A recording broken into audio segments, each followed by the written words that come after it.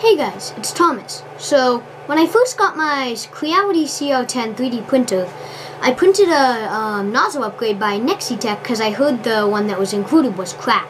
So I printed it, and I seem to have been having cooling issues. So I haven't replaced it since then in the like five months I've had my printer. So I've decided to print a new one. So like when I looked at the Nexitech nozzle a few days ago, I'm like, oh my gosh, this is crap. So let's get this thing off the print bed. And Rover, I hung up the X-Wing as you, if you may have noticed. Let's get this thing off the print. So let's get this thing off the print bed. Let's move the thing forward. I'll reposition the camera so you can see a little better. The I don't know, can't remember who it was by um, Thingiverse. Hopefully it looks good.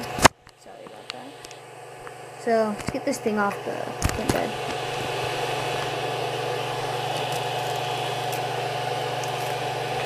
Get the spatula under there. That lifts off easy. Okay, so now let's get this thing installed. So we're gonna need a few tools. Um, I can't remember who designed this on Thingiverse, but it's a tool holder for the tools that come with your CR-10. Uh, and it says Creality CR-10. Um, I'll put the link in the description if you want to print it. But we're gonna need this wrench here. So I'm gonna place the camera down so you can see me installing this. So maybe I'll put it on the quick bed. Not with my little mini tripod. Sorry about that little mishap.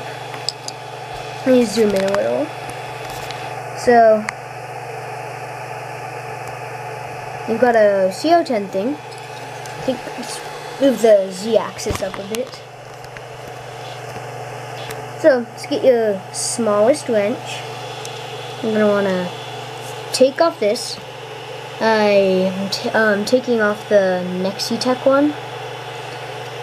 My great designer and all, but design not so great.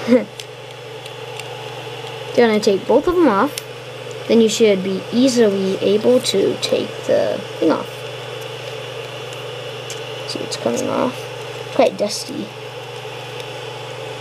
If you guys want to get some filament, I'd highly recommend the colors white and blue. You're going to use them a lot.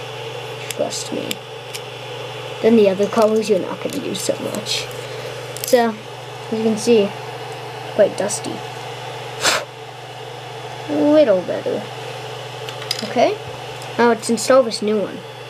So, you just take the print and literally put it up like that. It should fit like perfectly. Yeah, it fits. And it'll go around your 3D printer nozzle. But I'm gonna keep the old print in case this doesn't work. So I'm just gonna screw it on. With these teeny little like M1 screws, I'm guessing. Yeah, I think these are literally M1 screws.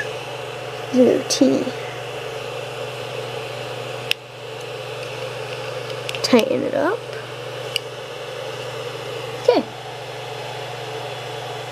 This is me actually blowing on the part. Huh. So, let's get this thing a test out. As you can see, it's a round style nozzle, so let's get this thing a So, I printed a few things with my upgrade so far. I printed an Omnom by Sparky Face 5, and it looks a lot better, especially on the overhangs. It's printed a lot better. I printed a Pikachu. This looks a lot better than previous prints. And I've printed some bugs. They're cool prints. They print in like this um, at 60 millimeters a second, 0.2 layer height. These print in like 13 minutes. No joke. And they're just little quips. I might do a video on these that they're kind of cute. You squish them and they open their mouth. So, as I said, the overhangs look a lot better. As there's like overhangs on all the overhang, there's only little teeny artifacts on random spots, and those random spots are very uncommon. So this upgrade has been totally worth it for my 3D printer because I'm getting better overhangs. So I hope you like this video. be sure to smash that like button. If you're not already subscribed, click that subscribe button. Um, click to enable notifications so you can get notified of any new uploads. Bye!